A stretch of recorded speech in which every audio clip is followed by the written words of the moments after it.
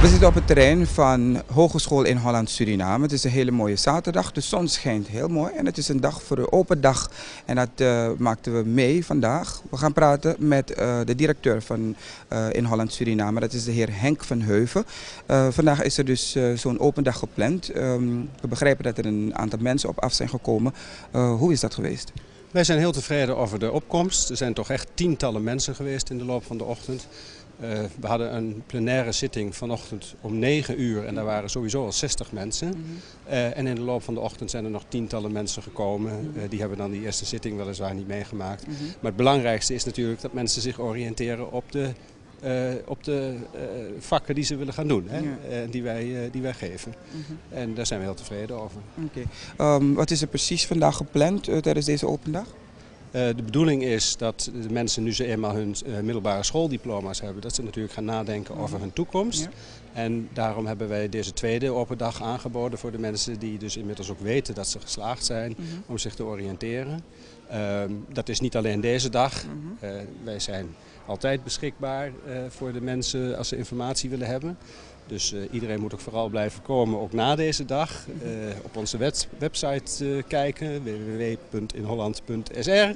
En ja, wij zullen heel graag de mensen te woord staan, want we willen heel graag dat zij een goede toekomst tegemoet gaan.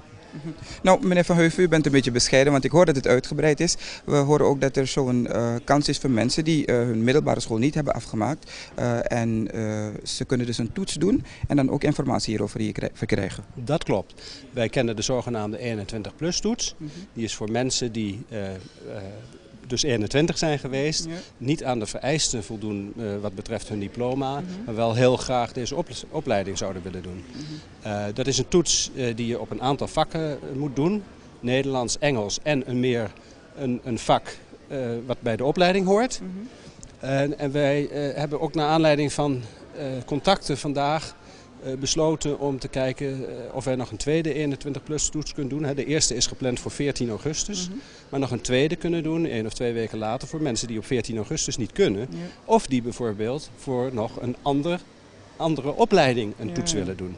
He, dan hoeven ze dus niet meer Nederlands en Engels te doen, maar wel dat mm. ene vak nog.